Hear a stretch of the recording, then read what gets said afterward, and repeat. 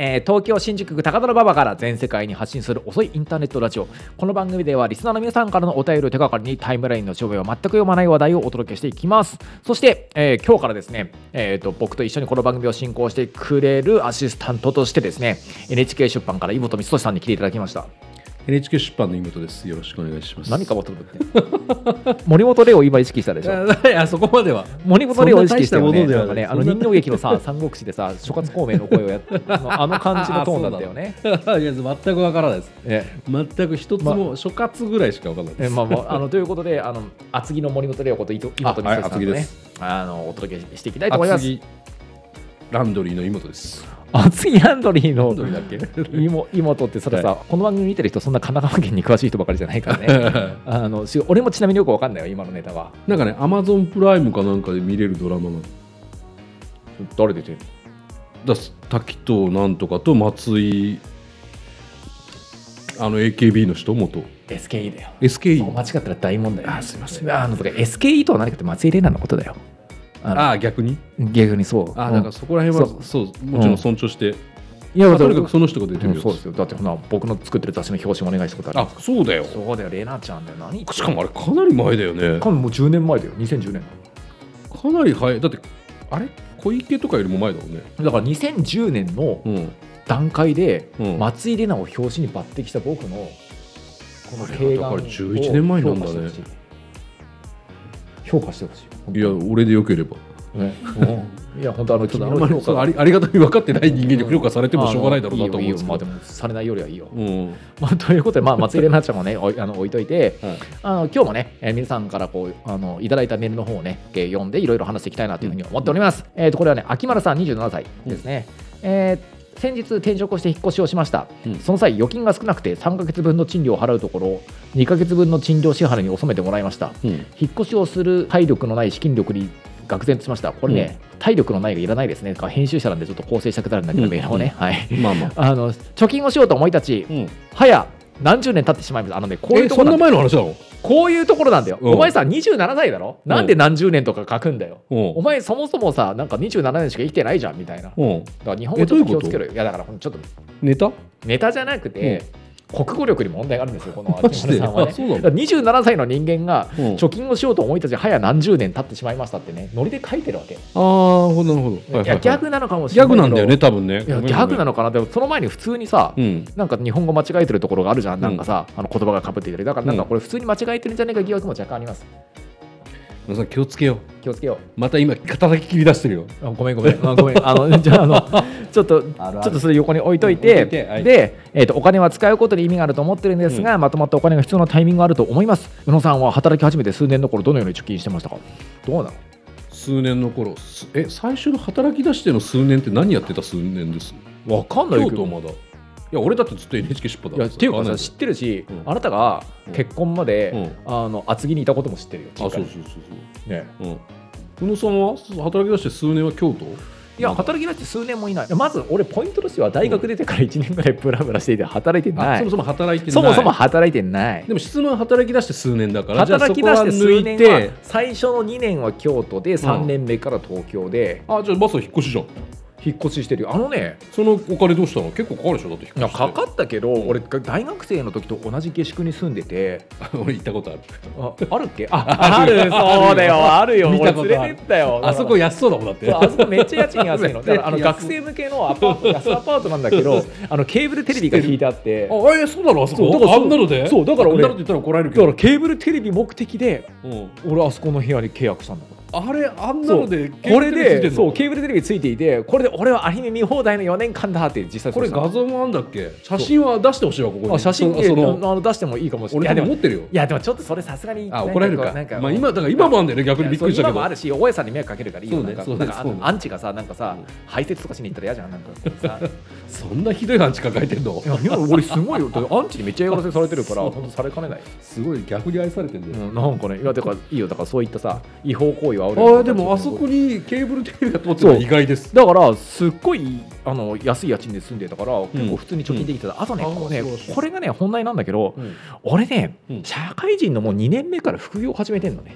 ライタあー。もうあれなんですか？そうだからその頃に、うん。今となってはもう僕の片腕というか副編集長をやってる中川大地さんとかに声かけられてあのなんかこう雑誌とかにこうあれそもそもさ塩沢さんとか京都時代から知り合いなんだっけ？いや違う違う塩澤さんも上京した直後。あ上京してから。早川書房のね。うん。だからあのでもその前から京都時代から僕ちょこちょこライターの仕事していてあまあちょっとねそんなにでかい収入じゃないけど副業してたのね。まあそれなりに。でなので結構それにお金に余裕あったんですよ。うんうん。で東京来たのもそのなんかこう物書きの僕会社員しながらね、うん。あの物書きをやっていたの最初会社に隠れてね最初何年間かデビューのね。で東京来た理由もその、なんかライターとか編集の仕事が忙しくなったからで週5で結構広告系の会社とか、うん。なんか仕事出版社みたいなところの、うん。に勤めたり俺してたんだけど東京来てから、まあ、その頃出会ってるわけなんだけどね。うん。あそうですね。だってあ出会った頃まだサラリーマンだったでしょ？そうだそうだ。あだって常にスーツだったじゃん。だあかな？そうだかも初期初期。かも、ううんん、かも。だから懐かしいな。あの頃とか俺多分会社の収入と同じぐらいライターの収入があって、うんうんまあおなうんまあ、月によるけどね。うん。だからそういった意味ではあのあんまりね実はねお金に困ってないんよ。でもうん。本当に人の2倍働いてる。うんうんだからもう本当普通に朝9時とか10時に出勤してだってさプラスさプラネット仕事があってプラネット稼ぎは次のプラネットに回してたじゃん。そうプラネッツ仕事は全く金になってなくて、うんね。稼いだお金はもうそろったまま次の号になる。次の方に全部だけどあれこそすげえじ時間っていうかリソースうんっていうかね僕ずっとなんかあのインディーズでね今は会社にして商業誌だけれど、うん。あの同人誌を出していて評論のね、うんうんでそれはもう自転車商業だったわけ。お金全部僕自分で出していてさ、うん。でもちろんボランテリーに手伝ってくれた人もいっぱいいたかうん。らそれで成り立ってたんだけど、ただもう全然採算とか合ってなくて、うんある号を作って売ってその入ってきたキャッシュで次の号を作るみたいな超自転車商業でやってたわけ、うん。最初の数年間っていうのは。でそんな無茶ができたのは僕が本当に人の2倍働いてたから。人の2倍働いていてキャッシュが常にうん。クラッシュしない状態を作ってた。の、でなんかでもその頃ってでも無我夢中で、うん。なんかこう全然そういうなんかお金の計算とかしてなかったから20代まあなんかそうそう20代後半とか30なるかならないかぐらいの頃だよね。なんかそうお金のことを考えてる余裕もなかったよ。でもただ本当に人の2倍働いてたからうん。お金に困ってもいなかった、うん。なので、まあ、結論から言うと27歳は副業してください。ああ秋丸さん。うん副業してください。なるほど。ということです。なんか割とちゃんとした、ん。回答でしたね。はい。はい。じゃあ次行きましょう。はい。えっ、と次はですねこれですね。えっ、と宮崎県のこと。を、39歳勝てる亀藪さん。先日、うん。えージョーダン・ボード・ロバーツ監督がガンダムを実写化するというニュースが出ていました。宇野さん的にガンダムの実写化これ成功すると思いますか？どうなんですか？いやあのあれでしょ？あのキングコングの監督だよね。あのはいはいはい。ね確かね。間違ってたら申し訳ないけど、そうだよね。いや俺ねあキングコング対ゴジラの監督とはまた違うの？ドクロ島の方一番最初のやつ。あはいはいはい。うん。なんか頭空っぽにしてさちょっと見れる感じのね。飛行機の中で見るのにちょうどいい あ感じの映画なんだけどさ。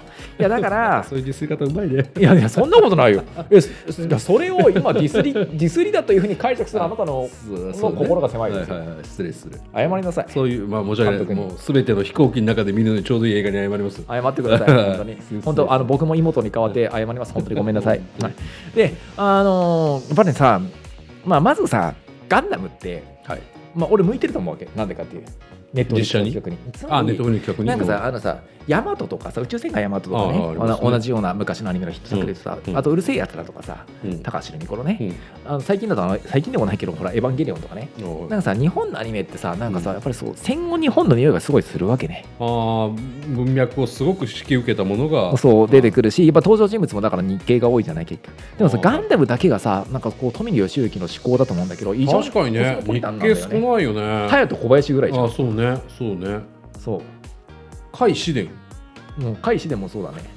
うん、まあでもさ、なんかまあでも少ないよね。アムロも未来癒しとかまあ結構いるんだけどうんうん。でもさ、でも少ないあの名前の付け方も含めてさ、すごくもう根血が進んじゃって、そうね確かにそうなんかあんまり今の国民国家って意味がなくなった世界を基調にしてるじゃん、あれって富野義行のなんかあのコスモポリタン思考のものだと思うんだよね。あれが実は僕はネットフリックスで海外資本でうん。なんかやり直すのにすごい向いてる設定だと思う、今のさなんかネットフリックスのさなんかさたなんか多様性ポリコレに全て捧げてますみたいなさフォーマットとも結構さ親和性高いじゃないで素晴らしいことですよ。もちろん前提として僕は肯定的な表現として今使ってますからね。素晴らしいことなんだけどあのまあ、だから向いてると思う。ただね俺思うのが日本のロボットアニメにね、うん。今日顕著なこう身体拡張の欲望。あつまりこうなんか自分の体をマッチョに鍛えて大活躍するみたいなものではなくて子供の夢としての。そうそうそう。あのみなんかこう機械でか作った偽物の体を手に入れてちょっとひ弱な少年が大人社会に仲間入りして活躍するみたいなうん。あの欲望ってものはさ基本的にはやはりこう日本では受けるけるしうん。アジアでは受けるけれどあんまり欧米では受けてないんだよね相対的ああに。なるほどそうなんですかうんそうねあのもちろん日本アニメの快楽ってものがさ、うんうん。日本のアニメとか評価を受けてあちこちに輸出されて、うんうん。でその日本アニメで育った世代がクリエイターになってパシフィックリムとか作ってさあパシフィックもあったね。やはりこう僕らが子供の頃に比べればはるかに受け入れられてるけど、まあ、基本的にはさ、うん。なんかこう日本を中心としたアジア圏の、うんで好まれる快楽なんで表現なんだよね。なるほど。なるほどか快楽に依存した表現なんだよ、だからなんかそこをねなんかこううまくはいうん攻略できるか、うん。だからやっぱあのアメリカ圏ヨーロッパ圏の人にも、うんなんかこうあの支持されるような、うんなんか身体拡張のイメージっていうのをどう作っていけるのかっていうね。なるほどね。うん。そこがやはりこうポイントになっていて、俺ね、レディープレイヤー1ってそこが分かってたと思うんだよ。それこそあのガンダムも出てくるやつ。最後ガンダムも出てくるんだけどさ。はいはい見た見た。あれさ、なんかあの主人公たちがさ、うん。あのアバター使って活躍するって話したしさ。むしろそういったアメリカンマッチズムみたいなものに抵抗のあるギークたちの物語じゃない。主人公そういう設定だからあのねなんかレあのレディープレイヤー1の時、まあ、の時のスピルバーグっていうのは、うん。多分彼はもう世代的なもんとおじいちゃんなんだけど、うん。感覚的に分かってたんだと思うんだよね。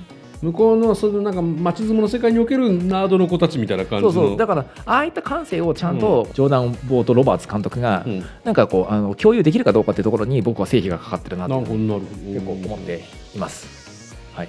あの個人的には機動戦士 V ガンダムビクトリーガンダムをぜひとも、あのネットフリックス化してほしいなというふうに、あの思っていますけどね。はい、ということで、はい。